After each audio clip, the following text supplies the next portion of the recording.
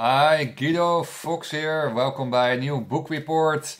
Today I want to discuss with you this amazing book of Osho, The Cessation of Mind. The cessation of mind. That's very important, right?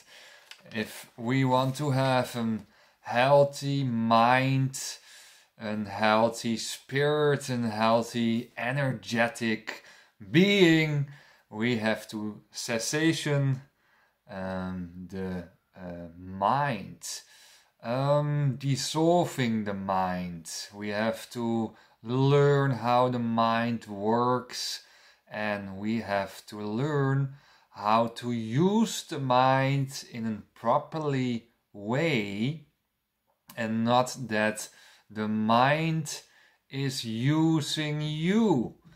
And in the most cases, the mind is using you, and you are not using your mind and your mind on a proper way. You are a slave of your mind. You are a slave of all the thoughts in your mind, all those stressful thoughts, right? What to do next during the day, what to do tomorrow, what to do next month, when we have our next holiday.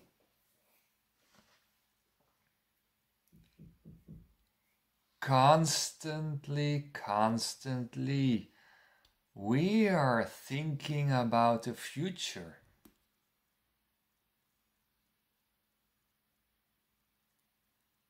Not only the next hour or what we have to do at the end of the day. We have to do the wash, we have to do the cleaning, we have to see our friends. We are constantly in our chattering minds. We are constantly chattering, and we are not so evolved that we are in the meditative state where your mind is going to your chakras.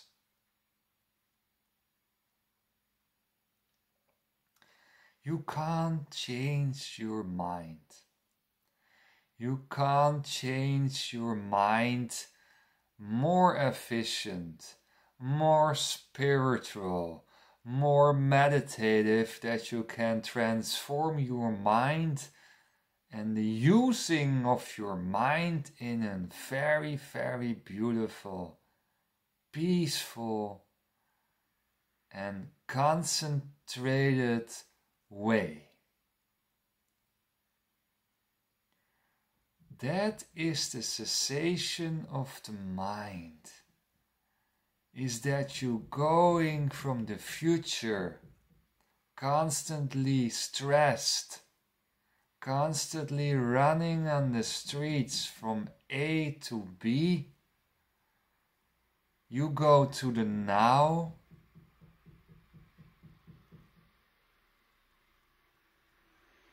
and not the Eckhart Tolle now,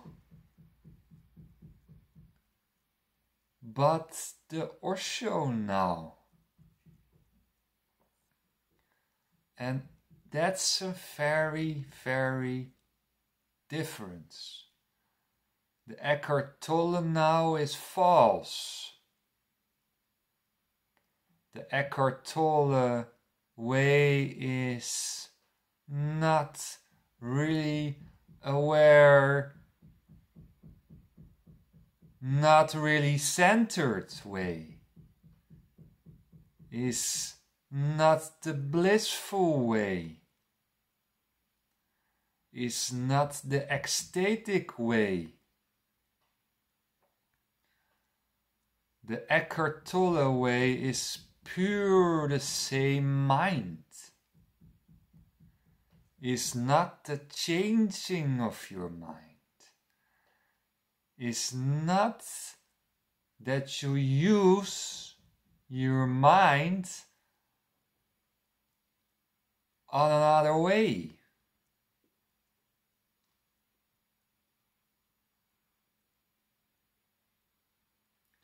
Oh, I have to be in the now.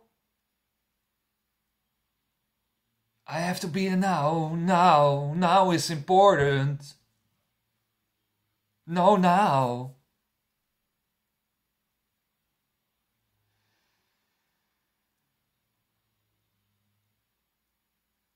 It's still stressful.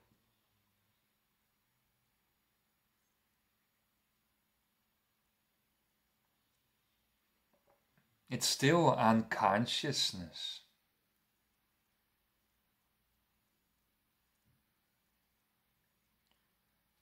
I can make a planning for the future or for the next day with full awareness. I can be with my mind in the past with full awareness. I can be in the now also with full awareness.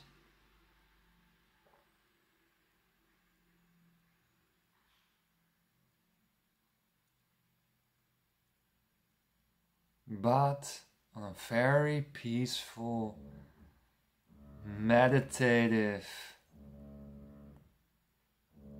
centered way.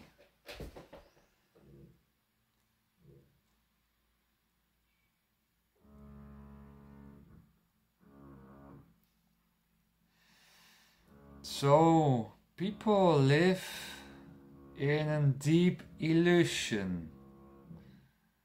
They live in a false reality. They are still in the stressful Aryan mind.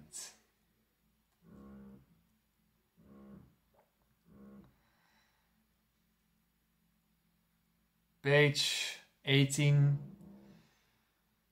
We are going to a teacher and spiritual teacher, and his name is Patanjali. And Patanjali was a spiritual teacher, and Osho were talking about him to become a higher being, a higher evolved person, and how you can step out of the crowd as a light being as a peaceful being, as a compassionate being. And Patanjali was a very, very mathematics guy. He was very exact.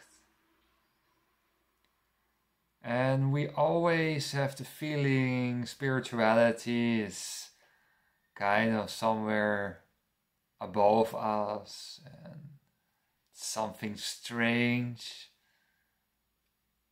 But this guy was into mathematics and he was very, very exact. Prices and one thing, if you want to evolve higher as a human being, if you want to step out of the crowd with all those stress, bullshit things, what they do,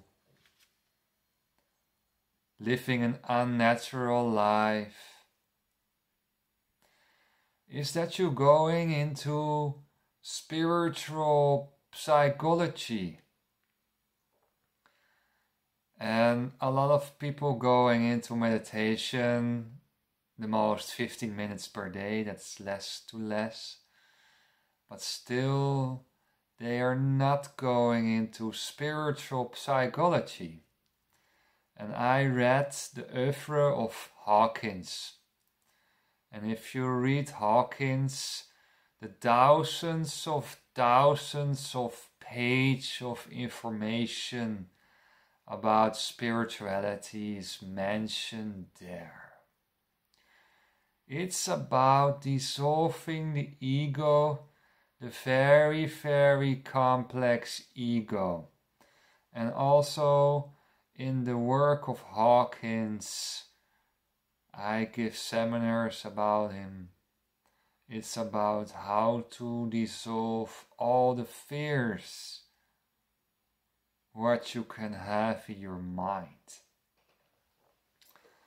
All the fears, all the jealousies, all the pride and arrogance mechanisms in your mind.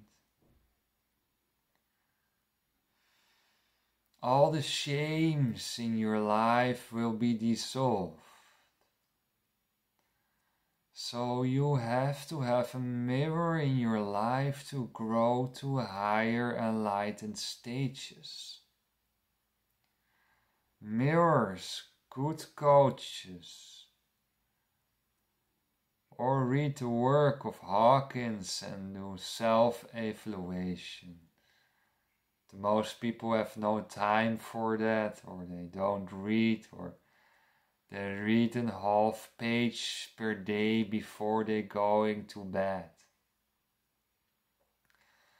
So Osho mentioned Patanjali because also you have to create a double attack on the very, very complex ego. I tell to you very complex because I gave seminars about it. The spiritual ego is very, very complex and is related to all your miseries. So you have to resolve the ego with the double attack of meditation and the knowledge about how the ego works. And then, if you know how the ego works and you're not so still in meditation, then you're already in a state of non misery a state of non misery, a mental state of non misery. And if you reach that state of non misery, then the door will open to the chakra experiences. The different chakra experiences. So, your mental state and the knowledge about the work of Hawkins' PhD is very important for your spiritual growth. And then can I, as a spiritual master, create order in you. Page 20. I don't learn you the simple things. Letting go. I heard so many teachers are saying you have to let go. It's too simple. I bring order in your mental state, in your mental thoughts. I am here to bring order in you and create fastness.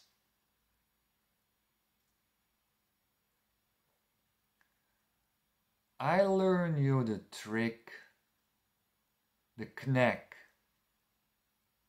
the mind knack to experience the higher spiritual stages, what you can reach in life.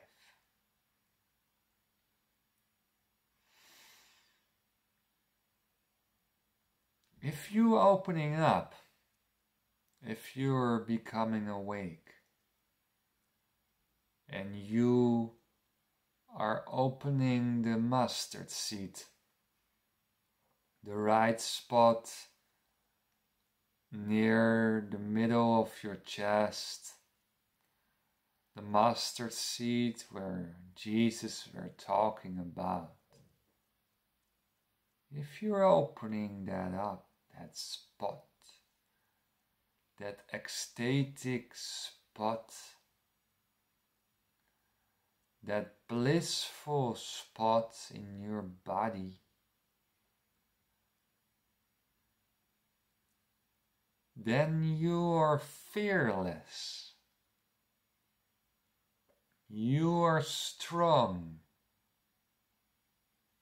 You are fearless. You are not experience any fear anymore.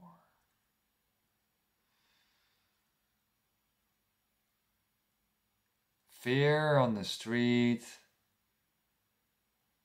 fear in your relationships, fear in your work. So all the fears will be dissolved in the mustard seed.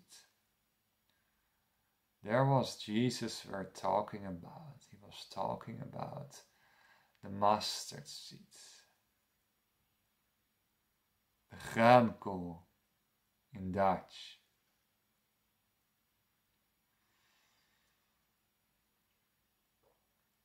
If you reach higher enlightened stages and you grow out of the mediocre development of the crowd in their social skills and their emotional skills, their addictive skills, and you grow out of that stages.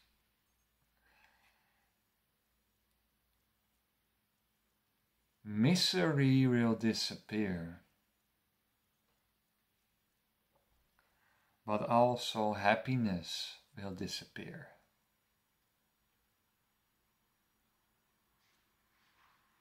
It is not if you become enlightened that you will smiling all the day and laughing all the day. You smile more and you laugh less. It's a constant way of being. You're more constant. There are no peaks and no lower stages there.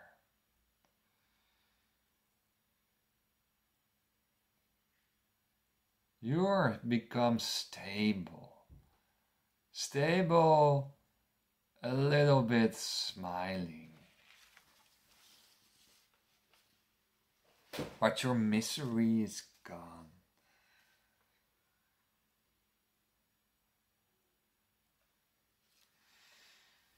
And people want always new and change. Always something new and wants to change. So much political parties use change as a word because people love the word change. but they don't change. They don't want to change. The ego doesn't want to change, but they like it. People like it, change and new and things. Because they think, oh wow, if the world and the surroundings are gonna change, then maybe I become a little bit more happier. And if the outside world is changing, then I ha- don't have to work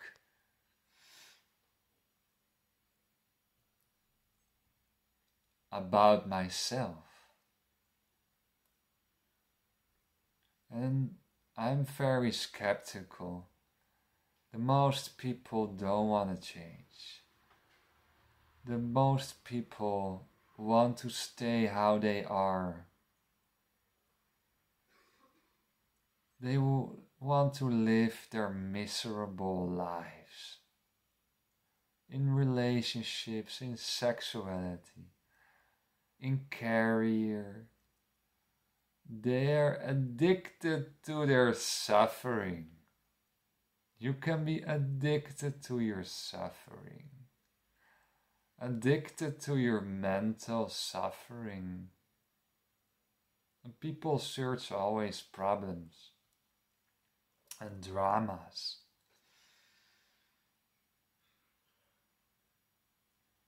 People don't want to change. The most people don't want to change. They search coaches who are too nice for them or who can handle them because they don't want to change. They tell to themselves that they work on themselves and to share it to the outside world. Look how good I am. I work on myself. But the most people are not very dedicated to go into spiritual, personal development. How more and more I grow in spirituality, how less and less I want to read. The most book seems useless, not interesting anymore. Because how can you write something down if you are not enlightened, what's the value of your words if you don't see the reality how it is? So all the books I read seems useless and useless except Osho of course. And the more and more I become spiritual, um, more and more I like to be silent and listening to myself, to my inner self. And Now, less and less I like to talk. What I want to say is that you're becoming more and more natural. In the nature you lived in the nature long, long time ago, were there books did you have to talk all the day to each other? You had to speech eight hours long? No, right. So, if you live more naturalized, why to talk so much?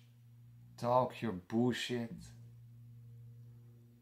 Why to fight? Why to read so much? It's all society implanted. Look how much I read, how intellectual I am. all those people with their books behind the screen to show off how much they read. At a certain moment, it become less and less interesting, and you're enjoying more the listening, and you're enjoying more the silence, the silence of life. It will be more valuable. Thank you for watching to this spiritual video and I wish you a wonderful day. Hi hi.